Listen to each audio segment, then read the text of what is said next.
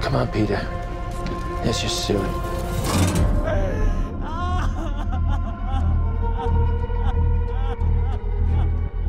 It's heartening to see so many strange new faces here today. I know my mom would be very touched and probably a little suspicious. My mother was a very secretive and private woman. Grandma.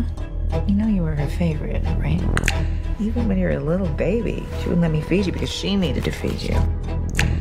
She was a very difficult woman, which maybe explains me.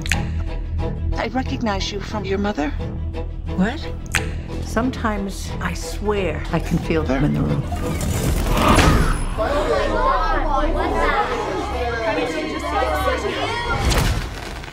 She isn't gone.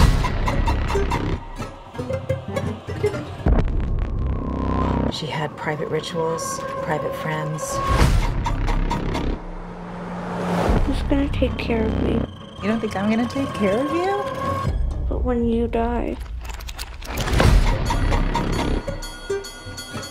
she wasn't altogether there. At the end. Like, boo, bitch.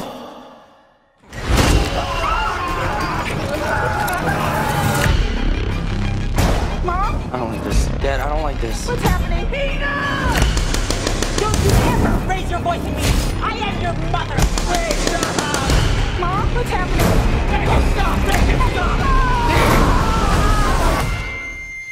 I just don't want to put any more stress on my family.